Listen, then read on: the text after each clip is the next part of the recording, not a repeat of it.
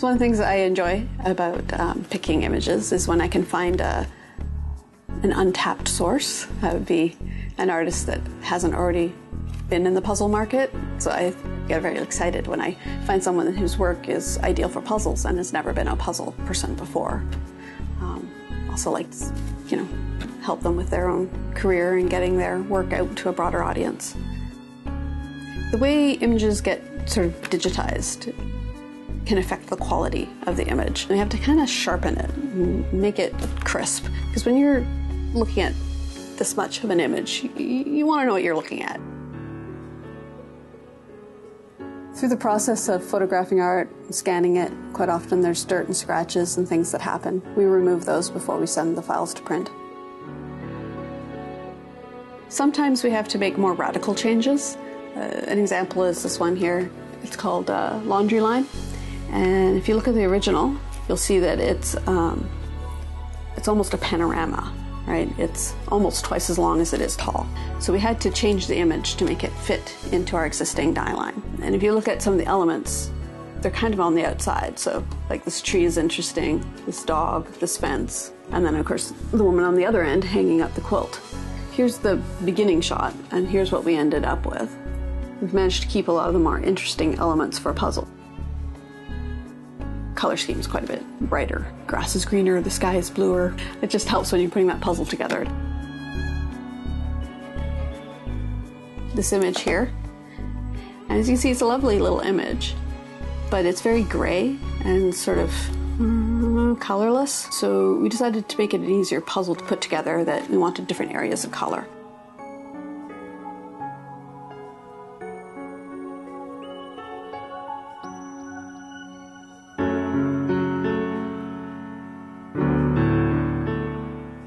From 60 to 2,000 piece puzzles. All our puzzles are what's called random cut.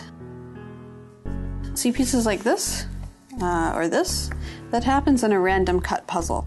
Um, the other alternative is what's called a ribbon cut, and uh, they're actually more difficult to do because it's almost like a grid, right?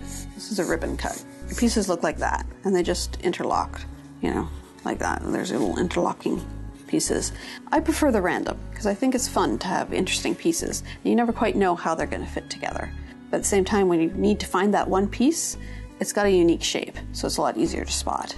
So we use the linen print on the puzzle itself, and we also use it on the box so that the final products, you know, match. One of the different piece counts we have is uh, what we call easy handling. It's a full-size puzzle, like the same size as a 500 piece, but it's only 275 pieces. So the pieces are larger, and it's targeted at people who are adults but may be having some eyesight or hand-eye coordination problems. So it's a little easier to put together. The paper and the board that we use in making our puzzles um, includes recycled fiber content, and the ink we use um, is soy-based. All our puzzles are made in the United States. We use a premium grade of board. It's a little thicker than some, a little stiffer. You know, it doesn't bend. You don't um, find a lot of damaged uh, nibs or pips. So you'll notice ours are pretty low on dust. I'm always surprised by the amount of letters we get. People write to us and tell us how much they appreciate uh, the quality and effort that we put into creating our puzzles. We also create some of our own images using photography. It's kind of nerve wracking because sometimes it can take hours to get the shot in the can, as they say. Like uh, teacups or donuts or cupcakes, um, yarn, beads, quilts, subjects that we think would appeal to puzzlers. Uh, one of the other piece counts we have is uh, family puzzles, but um, part of it is made of large pieces and part of it's made of small pieces, and they kind of meet in the middle with mid-sized pieces. And the idea is that children work on the easy section and adults work on the hard section. But it was funny when I actually did a photo shoot with an actual family. The kid didn't want to do the kids section. She wanted to do the hard stuff. And the mom, who hadn't done a puzzle in forever, was quite happy doing the large piece section. So it still worked as a family puzzle, just not quite the way we expected. We're a relatively new company. We get to learn something new every year, but through quality images, quality workmanship, quality materials, attention to detail, our goal is to produce the best puzzles in North America.